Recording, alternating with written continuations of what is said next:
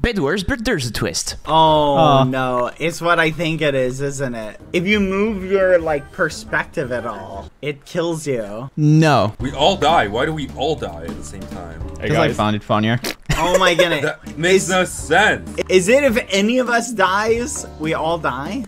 no. I mean, technically it is in in a way.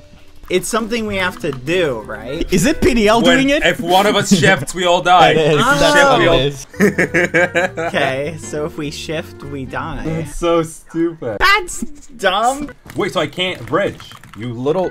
You know what? Oh my gosh.